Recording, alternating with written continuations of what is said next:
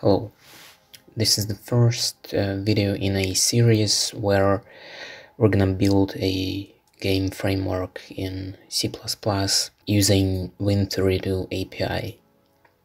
I'd like to start out by pointing out the differences between a game library, a game framework, and a game engine.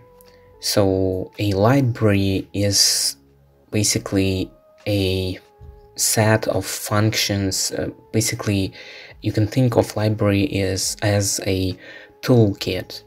Um, there are a bunch of tools that you can use in your program um, and uh, it doesn't impose any architectural kind of choices on you. So uh, a good example of a library is a math library where it uh, just provides you with um, data structures and uh, it provides you with uh, different functions um, and that's it. It's just a separate unit of functionality. Um, now a framework uh, is different because it uh, does impose some program design.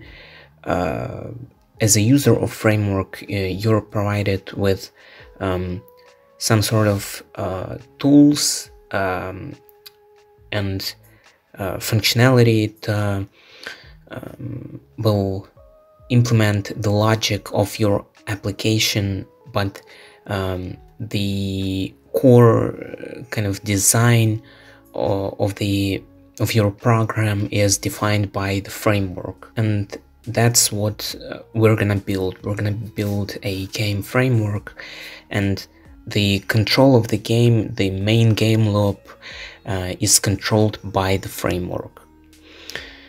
Um, and the third one is game engine. Well, it's just a program that we use to build a game.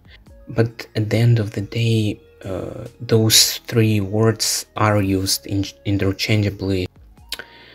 Uh, but we're building a game framework, which means that we are gonna define how the game is gonna be run.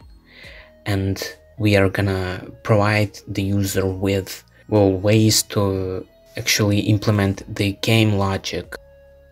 Okay the next thing is why use win32 api first off win32 api is a it's an api it's an interface uh, between your program and the operating system.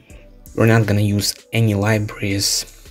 Uh, we are just gonna use Win32 API that comes with Windows. So um, we're gonna be using the API to uh, call operating system functions uh, to create a window to render uh, to the screen uh, and stuff like that. And lastly, our framework is going to provide a main game loop. It's going to provide a window abstraction uh, for the user. Uh, it's going to provide a renderer class for 2D, for simple 2D graphics. And then lastly, it's going to provide functionality to handle user input. We're going to work in Visual Studio. Um, if you're having any uh, problems with setting up a C++ Visual Studio project uh, to work with Win32 API, I've made a video on well how to set it up.